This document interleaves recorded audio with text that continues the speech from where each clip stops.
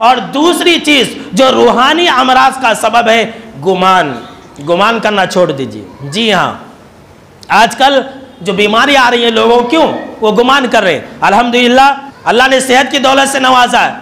थोड़ी सी खांसी हुई, ऐसा हुआ। मुझे कोरोना हो गया।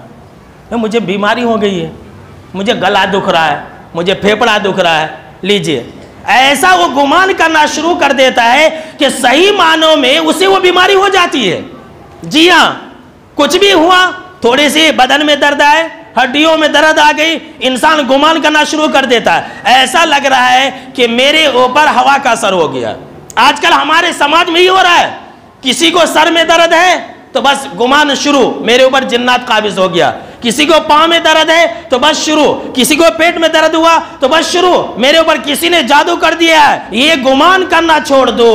क्यों? जैसा गुमान करेंगे, वैसा ही होगा हमारे साथ। ये मैं नहीं कह रहा हूँ। जनाब मोहम्मद अरबी सल्लल्लाहु अलैहि वसल्लम का फरमाने मुसरद अहमद की रवायत है। जनाब मोहम्मद अरबी सल्लल्लाहु अलैहि वसल्लम ने फरमाया, हदीस कुदसी है कि अल्लाह रब्बुल आलमीन ने कहा, अना इंदा बी।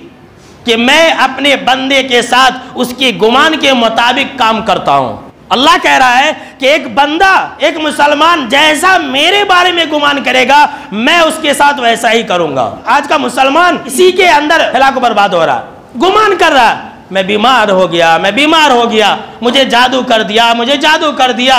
इसी में उसकी रातें भी हो रही है, इसी में उसका सुबह भी हो रहा है, इसी में उसकी शाम भी हो रही है।